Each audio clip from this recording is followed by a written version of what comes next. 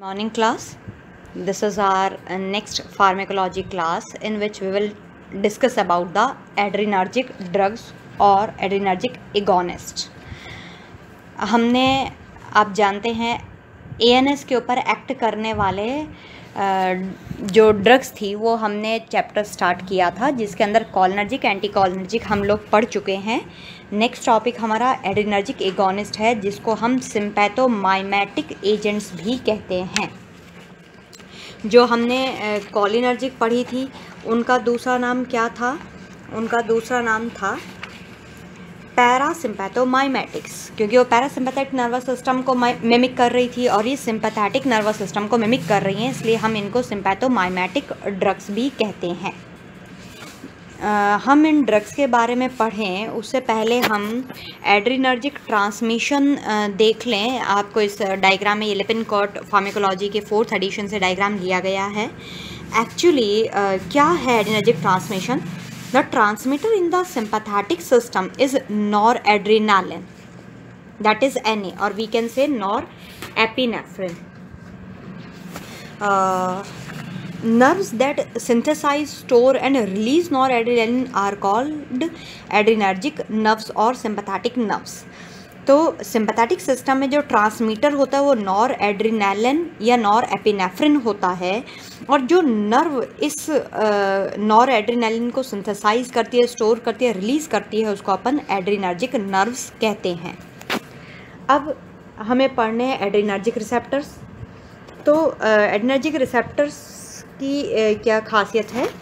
The adrenergic receptors are classified into alpha and beta which are located on the cell membrane they are further divided into various sub types like alpha one adrenergic receptors and alpha two adrenergic receptors are two types of alpha adreno receptors while beta receptors are divided into three sub types beta one beta two and beta three तो ये adrenergic receptors का classification है। अब ये जो receptors हमने बोले हैं अल्फ़ा और बीटा इनको अपन थोड़ा सा और डिटेल में देखेंगे कि क्या इफ़ेक्ट होता है अल्फ़ा रिसेप्टर्स का। अगर हम अल्फ़ा रिसेप्टर्स को एक्टिवेट कर दें या फिर हम बीटा रिसेप्टर्स को एक्टिवेट करें तो क्या इफ़ेक्ट देखने को मिलता है? तो ये देखिए major effects mediated by adreno receptors तो एड्रीनो रिसेप्टर्स में सबसे पहले अल्फ़ा रिसेप्टर्स हम देख रहे हैं, आप यहाँ पे देख सकते हैं, मैंने थोड़ा सा बड़ा कर दिया है स्लाइड को। तो अल्फ़ा वन जो है वैसो कॉन्स्ट्रिक्शन करता है पेरिफेरल रेजिस्टेंस को बढ़ा देता है ब्लड प्रेशर को बढ़ाता है माइड्रियासिस जो आई में हमने पढ़ा था माइड्रियासिस कॉज करता है, और इंटर ब्लैडर के इंटरनल स्फिंक्टर के क्लोज़र को बढ़ा देता है। ये अल्फ़ा वन का काम है। और अल्फ़ा टू क्या करता है?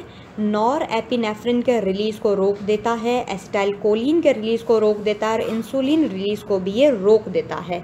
तो तीन चीज़ों को रोकने का काम कर रहा है alpha two receptor nor epinephrine के रिलीज़ को एसिटाइलकोलिन के रिलीज़ को और इंसुलिन के रिलीज़ को रोक रहा है।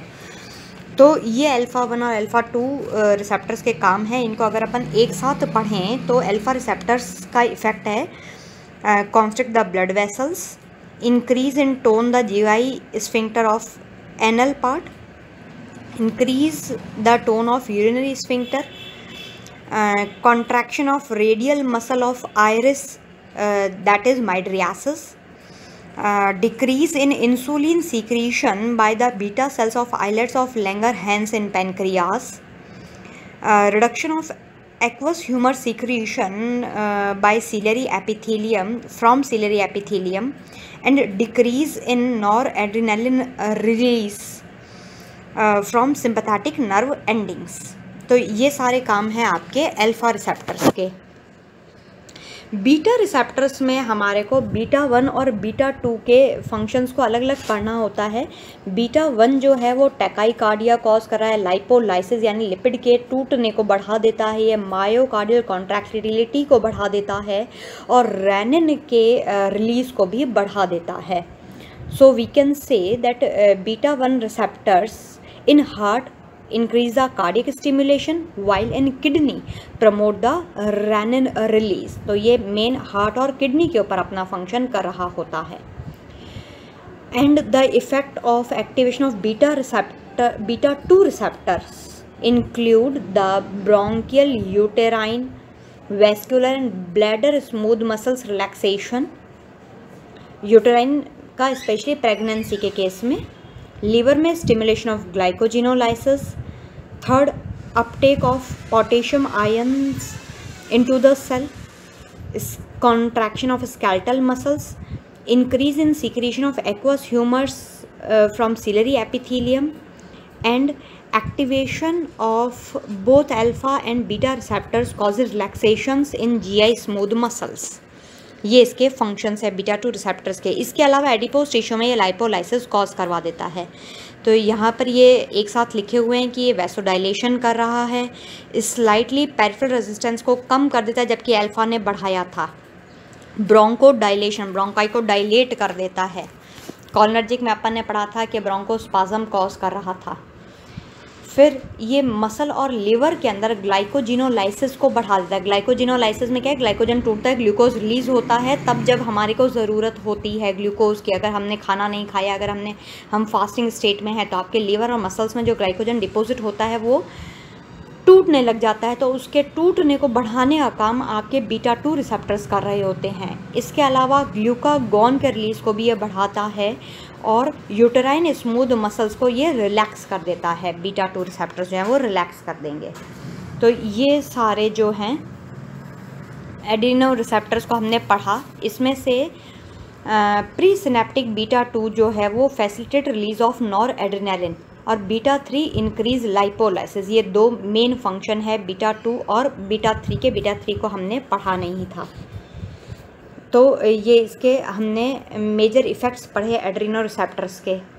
अब ये ड्रग्स पढ़ें, उससे पहले हम थोड़ा सा ये और देख लेते हैं कि एडिनेजिक रिसेप्टर्स जो हैं, वो कहाँ कहाँ पे डिस्ट्रीब्यूटेड रहते हैं, ये रिसेप्टर्स कहाँ कहाँ पाए जाते हैं। तो ये रिसेप्टर्स में बीटा वन जो है, वो हार्ट और किडनी पे पाया जाता है।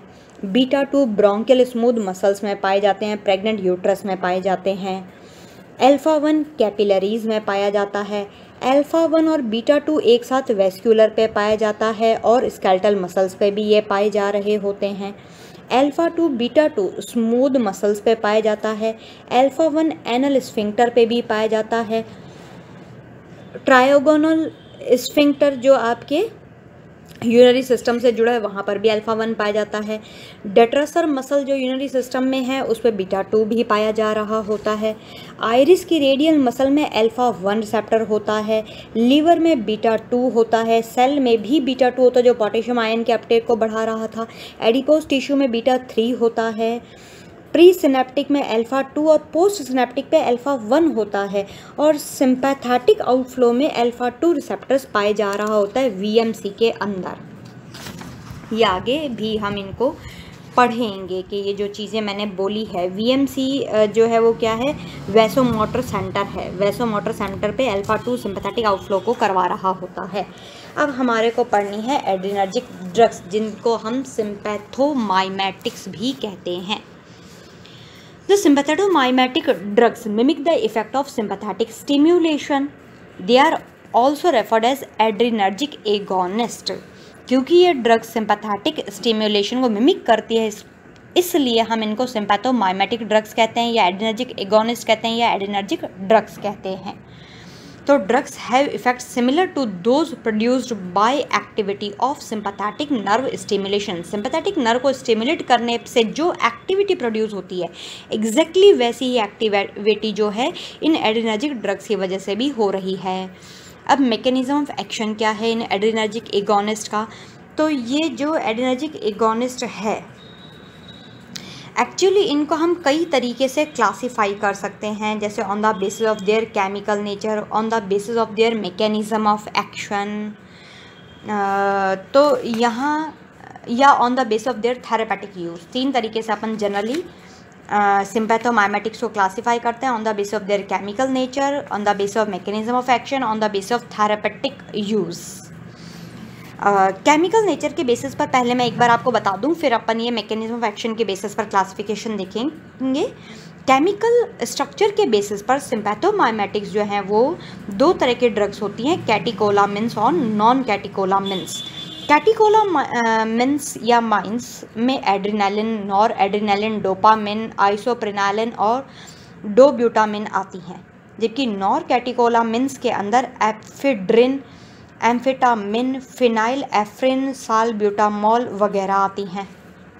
तो ये तो था केमिकल स्ट्रक्चर के बेसिस पर क्लासिफिकेशन दूसरा जो आपको इस स्लाइड के अंदर दिखाई दे रहा है मैकेनिज्म ऑफ़ एक्शन के बेसिस पर एडिनर्जिक एगोनिस्ट को हम क्लासीफाई करते हैं डायरेक्ट एक्टिंग और इनडायरेक्ट एक्टिंग इसके अलावा मिक्स्ड एक्टिंग ड्रग्स भी होती हैं। डायरेक्ट एक्टिंग और इनडायरेक्ट एक्टिंग के अलावा मिक्स्ड भी ड्रग्स होती हैं।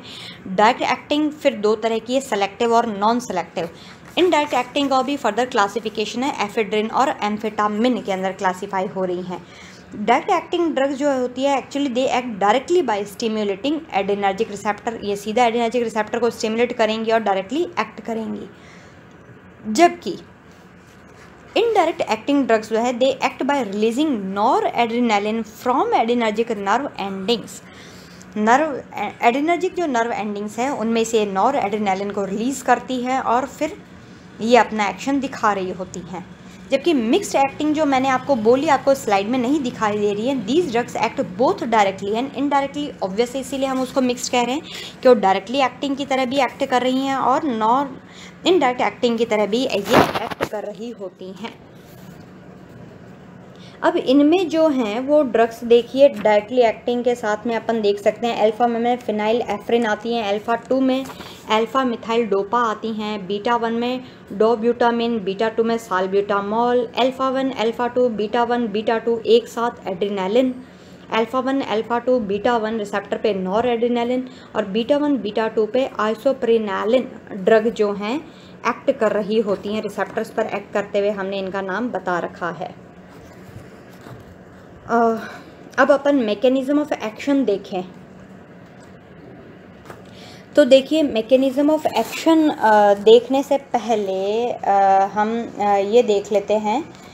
कि ये जो हमने अभी नाम लिए कि ये किस किस पर एक्ट कर रही हैं, वो अपन नाम देख लेते हैं। देखो डायरेक्ट एक्टिंग के अंदर सबसे पहले जो ड्रग आती हैं डायरेक्ट एक्टिंग को हम देख रहे हैं, फिर इनडायरेक्ट को देखेंगे, फिर मिक्स एक्टिंग को देखेंगे। तो डायरेक्ट एक्टिंग में सबसे पहले आती है एड्रीनलिन एड्रीनलिन जो है, वो alpha one alpha two beta one beta two और beta three agonists receptor पर अपना एक्शन दिखा रही होती हैं। थेरेपेटिक यूज़ ये एनाफाइलैक्टिक शॉक में काम आती है ब्रोंकियल एस्थमा में काम आती है कार्डिक अरेस्ट में काम आती है। तो अपन कह सकते हैं कि जो एड्रीनलिन है, उसका ए बी सी यूज़ होता है। बल्कि A B C D E use होता है। ये पाँच तरीके से यूज़ हो रही होती है। ए बी सी डी ई कैसे याद रखेंगे? ए एनाफाइलैक्टिक शॉक है। B bronchial asthma acute bronchial asthma में एड्रीनलिन काम आती है। सी कार्डिक अरेस्ट में ये काम आती है। डी से क्या है? ये बढ़ा देती हैं ड्यूरेशन ऑफ़ एक्शन को लोकल एनेस्थेटिक के। लोकल एनेस्थीसिया अगर आप दोगे तो उसके ड्यूरेशन ऑफ़ एक्शन को बढ़ाने का काम भी एड्रीनलिन करती है। To prolong the duration of action of local anaesthetics E से ये क्या करती है? एपिस्टैक्सिस को कंट्रोल करती है। To control epistaxis and other capillary oozing capillary से कोई भी चीज़ ऊज हो रही हो तो उसको ये कंट्रोल करती है। तो ये ए बी सी डी ई पाँच तरह के एक्शन जो है वो एड्रीनलिन नाम की ड्रग आपके दिखा रही होती है, जो कि डायरेक्टली एक्ट करती है। एडिनलिन के अलावा नॉर एडिनलिन एल्फा और बीटा वन एगोनिस्ट के ऊपर एक्ट करती है। ये हाइपोटेंसिव स्टेट में देने के काम आती है दवाई। आइसोप्रनालिन ये बीटा वन और बीटा टू के ऊपर एक्ट करती है। ये सारी लिखी हुई हैं आपके सामने ड्रग्स मैं इन्हीं को ही बता रही हूँ। यहाँ पर देख रहे हैं आप, isoprenaline beta one, beta two के ऊपर एक्ट करती है। ये हार्ट ब्लॉक और कार्डिक अरेस्ट में काम आती है। इसके अलावा डो ब्यूटामिन आपके सामने लिखी हुई, ये बीटा वन एगोनिस्ट है। ये कार्डियोजेनिक शॉक में काम आती है। अगर मायोकार्डियल इन्फेक्शन की वजह से मायो कार्डियोजेनिक शॉक हो रहा है एम की वजह से अगर कार्डियोजेनिक शॉक हुआ है या कंजेसिव कार्डियक फेलियर या कार्डियक सर्जरी की वजह से कार्डियोजेनिक शॉक हुआ है तो अपन डो ब्यूटामिन नाम की दवाई दे सकते हैं। नेक्स्ट है साल ब्यूटामॉल बीटा टू एगोनिस पे आप देखिए साल ब्यूटामॉल काम कर रही है। इसके अलावा टर्ब्यूटालिन दवाई आती है साल मेटेरॉल आती है, फॉर्मेटेरॉल आती है। ये सेलेक्टिव बीटा एगोनिस्ट हैं। ये अपन ब्रोंकियल एस्थमा में दे सकते हैं और प्री मेच्योर लेबर को सप्रेस करने के लिए किसी लेडी के अंदर अगर प्री मेच्योर लेबर हो गया है स्टार्ट हो गया है premature labour pain start हो जाता है, भाई। आप जानते हैं नाइन मंथ तक प्रेगनेंसी चाहिए, चलनी चाहिए। अगर वो नाइन मंथ से पहले ही उसमें कॉन्ट्रैक्शन स्टार्ट हो जाए तो हमें यूट्राइन रिलैक्सेंट देना पड़ता है, ताकि हम उसको सप्रेस कर सके तो अपन साल ब्यूटामॉल जैसी दवाइयाँ दे सकते हैं। इसके अलावा अल्फ़ा वन एगोनिस्ट के अंदर फिनाइलेफ्रिन आता है, लिखा हुआ है सबसे पहला फिनाइलेफ्रिन इसके अलावा मिथोक्जामिन दे सकते हैं मैफिन टर्मिन नाम की दवाई दे सकते हैं। ये सब अल्फ़ा वन एगोनिस्ट होती हैं। ये वैसोप्रेसर एजेंट होती हैं डी कंजेस्टेंट होती हैं, माइड्रियाटिक होती हैं, माइड्रियाटिक में फिनाइलेफ्रिन होती है। एलर्जिक और वैसोमोटर राइनाइटिस के लिए ये दी जा सकती है। मतलब ये किस किसमें दे सकते हैं? तो एलर्जिक में दे सकते हैं, वैसोमोटर राइनाइटिस में दे सकते हैं डी कंजेस्टेंट किसी को हो गया हो वैसोप्रेसर एजेंट के रूप में और माइड्रियाटिक के अंदर अपन ये दवाई दे सकते हैं। इसके अलावा अल्फ़ा एगोनिस्ट के अंदर और भी कई सारी चीज़ें आ रही होती है। जो हम आगे अपने स्लाइड्स के अंदर देखेंगे alpha one agonist nasal decongestant का काम करती है अल्फ़ा टू एगोनिस्ट हाइपरटेंशन में काम आती है अल्फ़ा टू एगोनिस्ट ग्लूकोमा में काम आ रही होती है टॉपिकली अपन लगा सकते हैं। इसके बाद इनडायरेक्ट एक्टिंग में अपन एम्फेटामिन पढ़ेंगे मिथामफेटामिन पढ़ेंगे मिथाइल फेनीडेट पढ़ेंगे। ये सारी की सारी एन को रिलीज़ करने के लिए पेरीफ्राई से एन को रिलीज़ करने के लिए काम आती है। और ए डी एच डी के अंदर इसका रोल था attention deficit hyperkinetic disorder अगर किसी को हो गया हो तो उसमें काम आ रही होती हैं। और मिक्स एक्टिंग में एफिड्रिन और डोपामिन नाम की दवाइयाँ आ रही होती हैं। अब देखिए मैकेनिज्म ऑफ़ एक्शन के अंदर इनडायरेक्ट एक्टिंग ड्रग के बारे में बता रखा है कि इनडायरेक्ट एक्टिंग ड्रग क्या कहते हैं? Drug enhances release of nor nor epi nor epinephrine from the vesicles vesicle से नॉर एपिनेफ्रिन को रिलीज़ कर रही होती है। यही, इसी तरह से इसका ये फ़ंक्शन हो रहा होता है और फाइव हाइड्रोक्सी ट्रिप्टामिन सेंट्रली को भी ये रिलीज़ कर रही होती है। नार्कोलेप्सी के अंदर इसका काम आता है और एडीएचडी जो मैंने आपको बताया था। इसके अलावा मिक्स्ड एक्टिंग जब ड्रग्स जो है drugs acts both directly and indirectly दोनों तरह से एक्ट कर है दिखाया गया है। डायरेक्टली एक्टिंग नीचे से आपको दिखाई गई है। Directly acting drug activates receptors parasympathetic target cells membrane के ऊपर जो रिसेप्टर्स हैं, उनको एक्ट कर रही होती है, जबकि नॉर इनडायरेक्ट एक्टिंग तो ब्लड वेसल के थ्रू एक्ट करती है, पर मिक्स जो है, वो दोनों तरह से एक्ट कर रही है डायरेक्टली भी और इनडायरेक्टली भी। ये इस डायग्राम के अंदर दिखाया गया है। नीचे डायरेक्ट एक्टिंग ड्रग बताई गई है, ऊपर इनडायरेक्ट एक्टिंग ड्रग दिखाई गई और मिक्स जो है, वो दोनों की तरह वर्क कर रही है। अब देखिए सिंपैथेटिक स्टिम्युलेशन का क्या असर पड़ रहा होता है? हमारे अलग अलग बॉडी सिस्टम पर इसका अलग अलग असर होता है। जैसे हार्ट के ऊपर सिंपैथेटिक स्टिमुलेशन से हार्ट रेट बढ़ जाती है फोर्स ऑफ़ कॉन्ट्रैक्शन एफओसी बढ़ जाता है बीपी बढ़ जाता है आई पे माइड्रियासिस कॉज होता है। ब्लड वेसल में ये कोरोनरी आर्टरी को डायलेट करती हैं। ब्लड वेसल्स जो स्केलेटल मसल को सप्लाई कर रही होती है, उन ब्लड वेसल्स को ये डायलेट कर देती हैं। स्टमक और इंटेस्टाइन में ये पैरास्टासिस को तो रोकती हैं और स्फिंक्टर के टोन को बढ़ा देती हैं, जिससे कि डीफिकेशन जो है वो रुक जाएगा, यानी स्टूल पास नहीं होगा, क्योंकि स्फिंक्टर मसल की टोन बढ़ गई है, वो कॉन्ट्रैक्ट हो गया है, पैरास्टासिस कम हो गए हैं मूवमेंट तो फिर स्टूल पास नहीं होगा। यूरिनरी ब्लैडर में ये ब्लैडर की वॉल को रिलैक्स कर देती है, स्फिंक्टर के टोन को ये रोक दे इनहिबिट्स करती है, जो बढ़ी हुई टोन होती है उसको रोक रही है और मिक्चुरेशन जो है वो ये कॉज करती है। रेस्पायरेटरी सिस्टम में ब्रोंकाई का डायलेटेशन ये कॉज कर देती है ब्रोंकाई डायलेट हो जाती है, यानी एस्थमा में अपन ये दवाई दे सकते हैं। लीवर में ये ग्लाइकोजिनोलाइसिस ग्लाइकोजिनोलाइसिस का ओ इसमें से गायब है, आप सही कर लीजिएगा। लीवर में ग्लाइकोजेनोजलाइसिस यानी ग्लाइकोजन टूटता है और ग्लूकोज रिलीज़ होता है। तो ये सिंपथेटिक स्टिमुलेशन के इफ़ेक्ट होते हैं। तो इन्हीं के जैसे एक्ट जो है, ये आपकी एडिनर्जिक ड्रग्स कर रही होती हैं। अब इन एडिनर्जिक ड्रग्स के अंदर अब थेरापेटिक यूज़ एक बार अपन देख लें तो शॉक में ये बीपी को बढ़ा देती हैं वेज ब्रोंको डायलेटर का काम करती है कार्डियक स्टिमुलेशन का काम करती है सीएनएस स्टिमुलेंट्स का काम करती है लोकल वेसो कॉन्स्ट्रक्टर इफ़ेक्ट दिखाती हैं नेज़ल डिसकंजस्टेंट डी कंजस्टेंट का काम कर रही है सॉरी नेज़ल डी कंजस्टेंट का काम करती हैं एलर्जिक रिएक्शन में यूज़फुल होती है, और एनोरेक्जियंट की तरह ये वर्क कर रही होती हैं। इनमें अलग अलग मेडिसिन भी हम पढ़ेंगे तो ये एक साथ जो हम पढ़ रहे हैं थेरापेटिक यूज़ है ये इसका, कि ये बीपी को शॉक में बढ़ा देती हैं ब्रोंको डायलेटर का काम करती है कार्डिक स्टिमुलेंट का काम करती है सीएनएस स्टिमुलेंट का काम करती है लोकल वैसो कॉन्स्ट्रक्टर इफ़ेक्ट अपना दिखाती हैं नेज़ल डीकंजेस्टेंट का काम करती है एलर्जिक रिएक्शन जैसे एनाफाइलैक्टिक शॉक में एड्रेनालिन का बहुत यूज़ होता है, और एनोरेक्जियंट का ये काम कर रही होती हैं। अब ये जो इनमें ड्रग्स आ रही है, उनको अपन इंडिविजुअल पढ़ रहे हैं जैसे सबसे पहले आ रही है एड्रीनालिन जिसको अपन एपिनेफ्रिन भी कहते हैं। It is a catechola catecholamine which is secreted mainly by adrenal medulla adrenaline is a non selective adrenergic agonist which show their pharmacological actions on alpha one alpha two beta one beta two and beta three receptors तो ये आपके सामने ऐसा लिखा पड़ा है। इसको अपन कैसे दे सकते हैं? सब क्यूटेनियसली दी जा सकती है ये दवाई। इन्हेलेशन के द्वारा आप सांस को, अपन ब्रोंकोडाइलेटर का काम करते हैं ना तो इन्हेलेशन के रूप में आ सकती है। आई ड्रॉप के फॉर्म में आती है इंट्राकार्डिक भी हम इसको दे सकते हैं। अब एक्शन, एकदम सिंपथेटिक स्टिमुलेशन की तरह ये वर्क कर रही होती है। अब कहाँ कहाँ पे ये क्या क्या अपना असर दिखा रही है?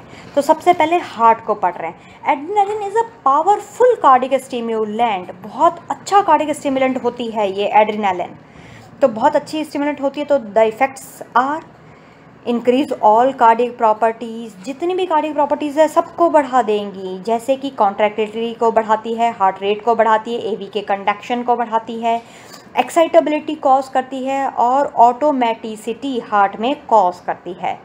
तो ये क्या कर रही है? Increase heart rate that is positive chronotropic effect they show positive chronotropic effect also they increase uh, in uh, myocardial contractility that is positive inotropic effect myocardial contractility को बढ़ाने का मतलब है ये आइनोट्रॉपिक इफ़ेक्ट भी पॉजिटिव दिखाती है इसके अलावा इंक्रीज इन कंडक्शन वेलोसिटी मैंने कहा ना एवी कंडक्शन को भी बढ़ा रही है, ये तो कंडक्शन वेलोसिटी बढ़ा रही है।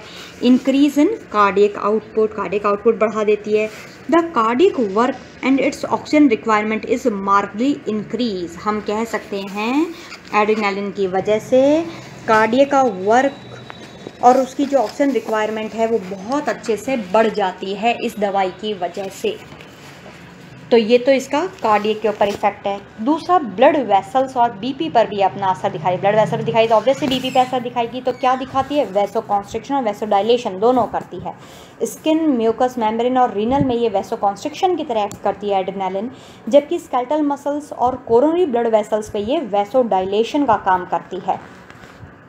So we can say that the blood vessels of the skin and mucous membrane containing the alpha 1 receptors are constructed by adrenaline but it dilates the blood vessels of skeletal muscles containing the beta 2 receptors.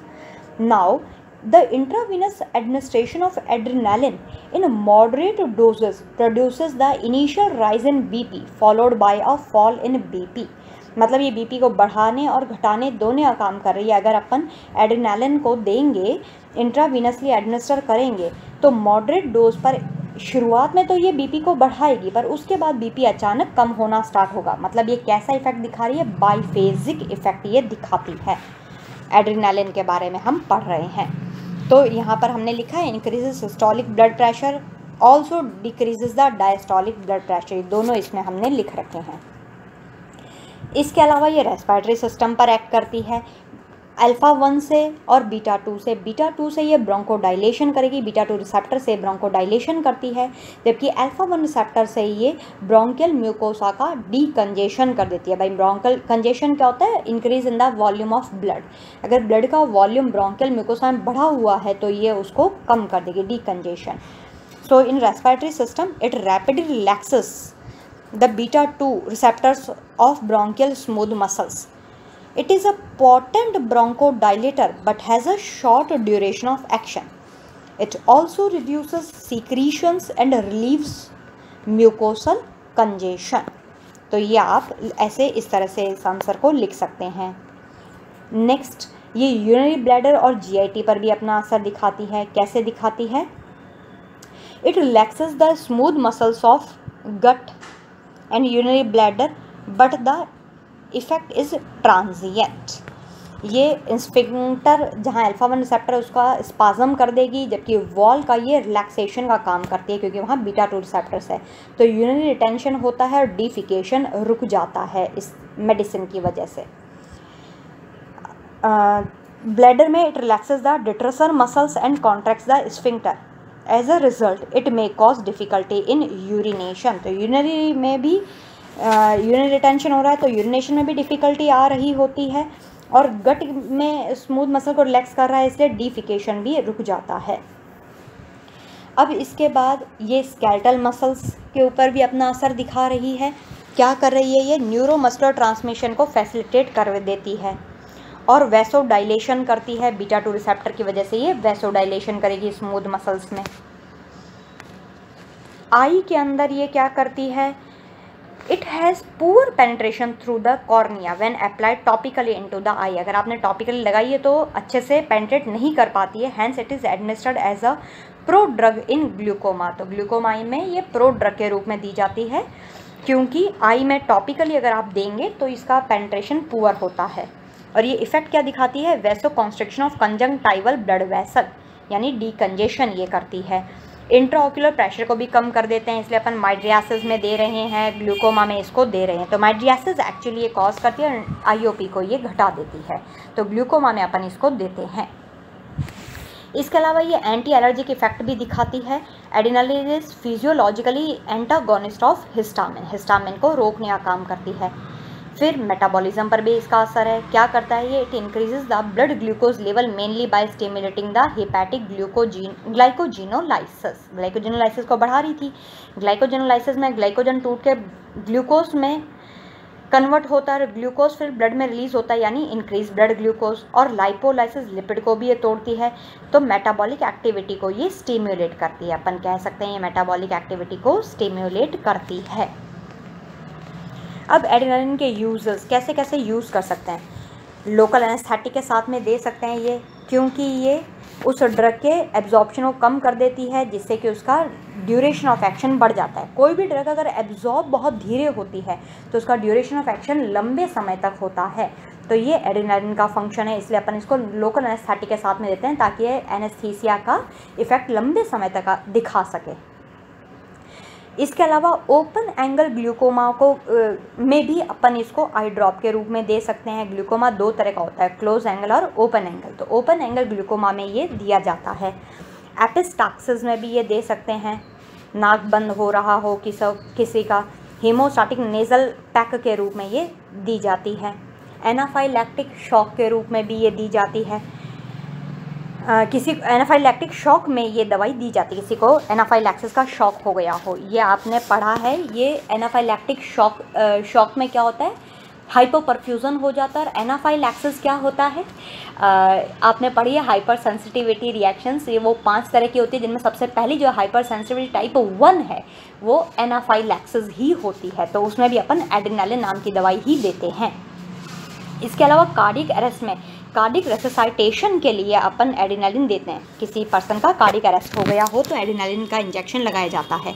Acute bronchial asthma में भी देते हैं क्योंकि ये जो है asthma में bronchospasm होता है और ये क्या काम करता है? ब्रोंको डायलेशन का काम करती है, इसलिए अपन एस्थमा में भी देते हैं। अब एडिनालिन के केवल फ़ायदे ही नहीं हैं, इसके बहुत सारे नुकसान भी होते हैं। तो क्या नुकसान होते हैं इसके? गैंग्रीन कॉज कर देती है। अगर अपन ने फिंगर टोज़ के आसपास कहीं पर दिया है, हाथों, पैरों में अगर आपने इसको इंजेक्ट कर दिया तो ये गैंग्रीन कॉज कर दी गैंग्रीन क्या होता है? It is a special type of necrosis है पैथोलॉजी में आप पढ़ेंगे, gangrene is a special type of necrosis necrosis क्या होता है? सेल डेथ को कहते हैं नेक्रोसिस तो गैंग्रीन का अगर कोई पेशेंट है, उसको एडिनालिन दिया जाता है। इसके अलावा हाइपर हुआ हो, जिसकी वजह से सेरेब्रल हेमरेज ये कॉज कर देता है। ये गैंग्रीन कॉज करता है। एड्रेनालिन की वजह से एक्चुअली गैंग्रीन हो जाता है। गैंग्रीन में देते नहीं है। एड्रेनालिन अगर आपने ज़्यादा दे दिया फिंगर टोज में दे दिया तो ये गैंग्रीन कॉज कर देगा। ये हाइपर टेंशन भी कॉज कर देता है, जिसकी वजह से सेरेब्रल हेमरेज हो सकता है।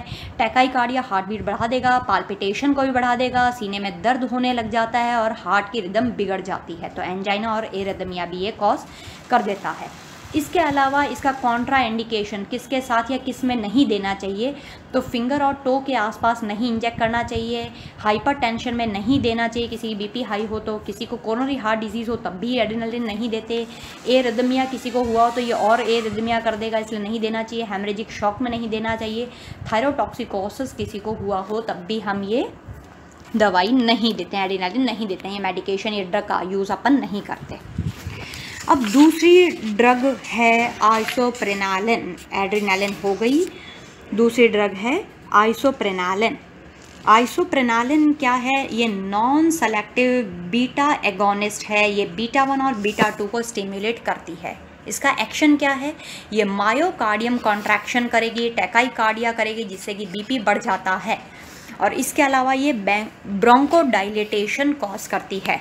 इसको अपन कार्डियोजेनिक शॉक के केस में यूज़ कर सकते हैं, एस्थमा के रूप में यूज़ कर सकते हैं। आइसोप्रेनालिन आइसोप्रेनालिन को अपन आइसो प्रोट्रीनॉल भी कहते हैं। ये non selective beta receptor agonist होती है with potent beta action it is a powerful cardiac stimulant and it relaxes the bronchial muscle. It is given parenterally. It is used to increase the heart rate in heart block.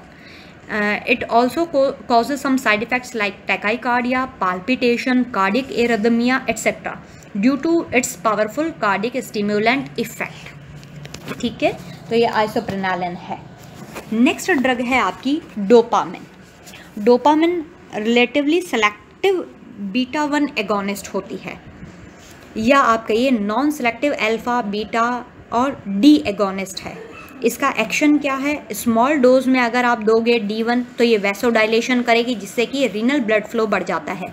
Moderate dose में D one plus beta one positive inotropic effect दिखाता है। Inotropic effect अभी अपन ने पहले भी पढ़ा था। और लार्ज डोज में दोगे अल्फ़ा वन पे तो ये वैसो कॉन्स्ट्रिक्शन करेगी, जिससे कि पैरिफेरल रेजिस्टेंस बढ़ जाता है। इसको अपन शॉक में दे सकते हैं और रेजिस्टेंट हार्ट फेलियर के केस में दे सकते हैं।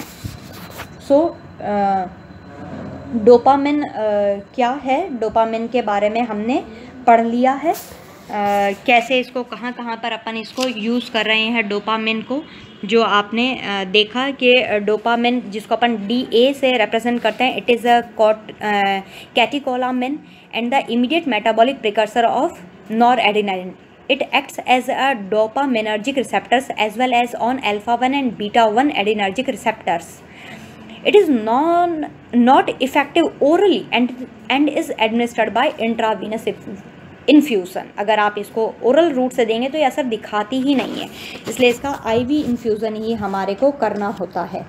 कुछ प्रिकॉशंस हमें रखने होते हैं या आपके इसके कुछ साइड इफ़ेक्ट्स एडवर्स इफ़ेक्ट होते हैं डोपामिन इन्फ्यूज़न के दौरान। कि ये BP heart rate ECG urine output should be carefully monitored जब अपन इसको दे रहे हैं तो ये सब चीज़ें हमें हर समय चेक करनी है। इसकी डोज चेक करनी है, इसकी बी उसके अलावा पेशेंट की BP heart rate ECG urine output आप चेक करते रहिए। इसके एडवर्स इफ़ेक्ट जो है सिंपैथेटिक स्टिमुलेशन की वजह से होते हैं तो ये nausea vomiting headache hypertension tachycardia cardiac arrhythmia और एंजाइना कॉज कर सकता है। और इसके थेरेपेटिक यूज़ तो मैंने बता दिया आपको कार्डिजेनिक और सेप्टिक शॉक में दे सकते हो। Severe heart failure with renal impairment किसी को है तो डोपामिन दी जा सकती है। अब नेक्स्ट है डोब्यूटामिन इसको डोब्यूट्रैक्स भी हम कहते हैं। डोब्यूटामिन की खासियत क्या है? It is relatively selective beta one agonist actually ये है सेलेक्टिव बीटा वन एगोनिस्ट ये पॉजिटिव आइनोट्रॉपिक भी होती है, जिसकी वजह से कार्डिक आउटपुट बढ़ जाता है। इसको आईवी इन्फ्यूज़न के द्वारा यूज़ करते हैं कुछ चीज़ें ट्रीट करने के लिए, जैसे कि कार्डियोनिक शॉक को ये ट्रीट करती है रेजिस्टेंट हार्ट फेलियर को रेजिस्टेंट हार्ट ब्लॉक को ये ठीक करती है। और इसके साइड इफ़ेक्ट में सीने में दर्द होने लग जाएगा और एरिदमिया कॉज हो जाएगा। तो ब्यूटा डो ब्यूटामिन की क्या खासियत है? It is a synthetic catecholamine structurally resembles dopamine dopamine के जैसी होती है स्ट्रक्चरली और ये सिंथेटिक कैटाकोलामिन है। हमने डोपामिन में भी यही पढ़ा था। मैंने डोपामिन में भी आपको बोल के बताया कि डोपामिन कैटिकोलामिन है, पर वो नेचुरल है।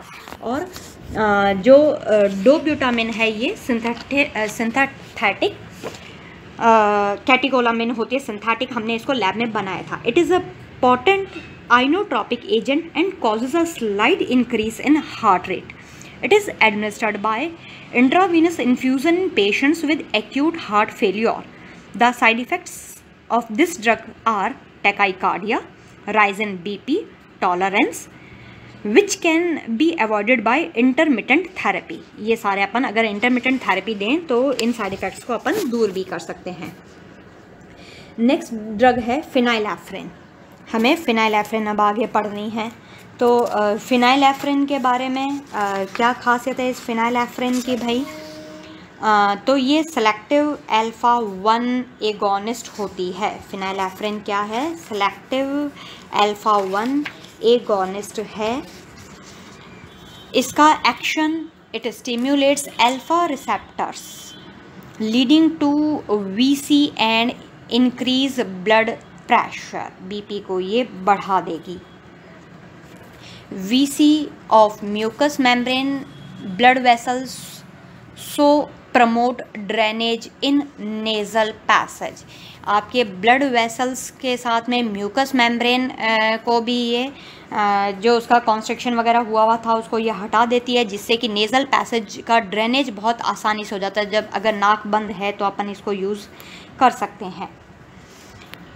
इसके फिर यूजेस क्या क्या है भाई? नेजल कंजेशन नाक बंद है तो अपन इसको यूज़ करेंगे। हाइपोटेंसिव स्टेट है, कोई शॉक की कंडीशन के अंदर है हाइपोटेंसिव में तो अपन ये दे सकते हैं।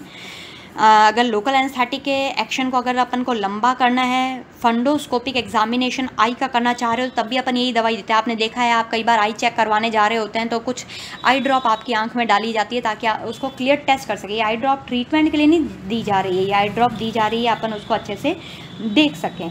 तो आई ड्रॉप के रूप में भी अपन ये दे रहे होते हैं। इसके एडवर्स इफ़ेक्ट ये माइड्रियासिस कॉज करवा देती है और यूरिनरी रिटेंशन कॉज कर देती है।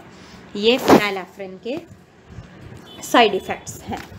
फिनाइल एफ्रिन पढ़ने के बाद अगर अपन देखें तो नेक्स्ट ड्रग अपनी आ रही है अल्फ़ा मिथाइल डोपा जिसको अपन एल्डोमेट भी कहते हैं। अल्फ़ा मिथाइल डोपा अब ये अल्फ़ा मिथाइल डोपा क्या चीज़ है भाई? इससे पहले मैंने आपको क्या पढ़ाई थी? फिनाइल एफ्रिन पढ़ाई थी, जो मेनली क्या थी? नेज़ल डी कंजस्टेंट होती है, ये आप नोट कर लेना फिनाइल एफ्रिन जो है वो नेज़ल डी कंजस्टेंट है। अल्फ़ा एगोनिस्ट के रूप में अपन इसको कॉमनली काम में ले रहे होते हैं नेज़ल डिकंजेस्टेंट के रूप में। तो इसकी कई सारी फॉर्म्स अपने पास अवेलेबल होती है। फिनाइल एफ्रिन को ओरल भी दे सकते हैं और टॉपिकल भी अपन दे सकते हैं। एलर्जिक राइनाइटिस किसी को हुआ हो कॉमन कोल्ड हुआ हो साइनोसाइटिस हुआ हो तो फिर अपन फिनाइलेफ्रिन दे सकते हैं। ये ड्रग्स जो है वैसो कॉन्स्ट्रक्शन करवाती है अपने नेजल म्यूकोसा में। जो वीसी आपका लिखा हुआ है, ये क्या चीज़ है? वैसो कॉन्स्ट्रक्शन इसको नोट कर लीजिएगा कन्फ्यूज़ होने की ज़रूरत नहीं है। तो ये वैसो कॉन्स्ट्रक्शन करिए नेजल म्यूकस मेम्ब्रेन में और नेजल कंजेशन को ये ठीक कर देती है। पर अगर अपन इसको लंबे समय तक यूज़ करेंगे तो ये रीबाउंड कंजेशन कर देती है, वापस कंजेशन हो जाता है। तो atrophic rhinitis anosmia local irritation जैसे एडवर्स इफ़ेक्ट इसके टॉपिकल डीकंजेस्टेंट के देखने को मिल रहे होते हैं। अगर ये सिस्टमिकली एब्जॉर्ब हो जाती है तो ये एग्रावेट हाइपोटेंशन बहुत सीवियर वाला हाइपोटेंशन कॉज कर देगी, यानी बीपी बहुत ज़्यादा कम कर देगी। ये फिनालेफ्रिन की खासियत। अब अपन अल्फ़ा मिथाइल डोपा पढ़ रहे हैं। अल्फ़ा मिथाइल डोपा क्या है? इसकी खासियत क्या है? ये सेलेक्टिव अल्फ़ा टू एगोनिस्ट है. Agonist of alpha two receptors in VMC in brain leading to brain के अंदर जो वैसो मोटर सेंटर होता है, उसमें अल्फ़ा टू रिसेप्टर्स पाया जाता है, उसका एगोनिस्ट है ये एल्डोमेट ये क्या करेगा? सिंपैथेटिक आउटफ्लो को वैसो मोटर सेंटर से सिंपैथेटिक आउटफ्लो को कम कर देता है. जैसे ही वी से सिंपैथेटिक आउटफ्लो कम होगा तो उसका रिज़ल्ट ये निकलेगा कि हार्ट रेट कम हो जाएगी कार्डिक आउटपुट कम हो जाएगा और पल्स रेट कम हो जाएगी. जिसकी वजह से बीपी कम हो जाता है। तो ये बीपी को कम करने का काम कर रही होती है। इसके अलावा it inhibit synthesis of catecholamine catecholamine में हमने डोपामिन पढ़ा था ना? डोपामिन इज़ ऑल्सो है कैटिकोलामिन तो डोपामिन को कैटिकोलामिन को सीरोटोनिन को इनहिबिट कर देती है। इसका यूज़ हाइपर में काम में लेते हैं। स्पेशली रीनल इम्पेयरमेंट और प्रेगनेंसी के समय अपन एल्डोमेट काम में लेते हैं। एल्डोमेट अल्फ़ा मिथाइल डोपा को कह रहे हैं। ये वर्क कैसे कर रही थी? अल्फ़ा टू रिसेप्टर्स जो हमारे ब्रेन में वीएमसी में पाए जाते हैं। तो उसमें ये क्या करती है? वीएमसी से सिंपैथेटिक आउटफ्लो को कम करेगी, जिससे हार्ट रेट कार्डिक आउटपुट और पल्स रेट कम हो जाएगी और फाइनली बीपी कम हो जाता है। नेक्स्ट ड्रग है सेलेक्टिव बीटा टू एगोनिस्ट ये ब्रोंको डायलेशन का काम कर रही होती है यूट्राइन लैक्सेशन का काम करती है और वैसो डायलेशन का काम करती है। ब्रोंको डायलेशन में सालब्यूटामॉल इसका एग्ज़ाम्पल है। यूट्राइन लैक्सेशन में यूट्राइन स्मूथ मसल्स को रिलैक्स करती है, जैसे कि राइटोड्रिन और वैसो डायलेटेशन के अंदर आइसोक्जियोप्रिन और राइटोड्रिन का रोल होता है। मतलब ये दवाइयाँ अपन वैसो डायलेशन के रूप में काम में ले सकते हैं। ये सेलेक्टिव बीटा टू एगोनिस्ट हैं। अब इसके बाद सेलेक्टिव बीटा टू हो गई हैं तो अपन नेक्स्ट देखते हैं। सेलेक्टिव बीटा टू एगोनिस्ट के अंदर एक्चुअली इनका थेरापेटिक यूज़ क्या है? सेलेक्टिव बीटा टू एगोनिस्ट का। तो ये ब्रोंकियल एस्थमा में काम आती है। अगर ब्रोंकियल एस्थमा का एक्यूट अटैक आया है तो आप ये दे सकते हो। एस्थमा के प्रोफाइलैक्सिस को रोकने के लिए भी आप ये दवाई दे सकते हो कि अगर आप चाह रहे हैं एस्थमा के अटैक ना आए या स्टेटस एस्थेमेटिकस हुआ हो, तब भी अपन दे सकते हैं। मतलब फाइनली अपन कहें तो ब्रोंकियल एस्थमा के अंदर ये सेलेक्टिव बीटा टू एगोनिस्ट काम में आते हैं।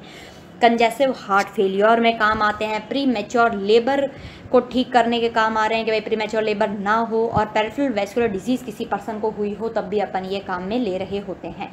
इसके एडवर्स इफ़ेक्ट अगर लार्ज ओरल डोज इन एगोनिस्ट की दे दी जाए बीटा टू एगोनिस्ट की तो ये ट्रिमर्स कॉज कर देते हैं टेकाईकार्डिया कॉज हो सकता है पाल्पिटेशन और फ्लशिंग ट्रिमर्स दौरे पड़ रहे हैं हार्ट बीट बढ़ जाती है पैल्पिटेशन बढ़ जाता है और अचानक ऐसे गर्मी के शौक जैसे आपको महसूस हो रहे होता है, अचानक से बॉडी गर्म हो जाएगी, चेहरा गर्म हो जाएगा, पसीने आने स्टार्ट हो जाएँगे तो फ्लशिंग का काम करते हैं, सर में दर्द होने लगता है, नींद नहीं आती है कन्फ्यूज़न रहने लगता है पर्सन को अगर लार्ज डोज इनके लिए लें और हाइपर ग्लाइसीमिया ग्लूकोज का लेवल ब्लड में बहुत ज़्यादा बढ़ जाएगा। इसके साथ में आपकी ये जो एड्रीनर्जिक ड्रग्स हैं, वो सारी की सारी मैंने आपको एक साथ बता दी हैं। एडिनर्जिक ड्रग्स हम पढ़ चुके हैं, आपको कोई भी डाउट हो तो आप मुझसे अपने डाउट्स पूछ सकते हैं क्वेश्चन पूछ सकते हैं। तो आज की क्लास के लिए इतना काफ़ी है एडिनर्जिक रिसेप्टर हो गए। हम अपनी अगली क्लास के अंदर इन एडिनर्जिक रिसेप्टर्स के ब्लॉकर्स को पढ़ेंगे।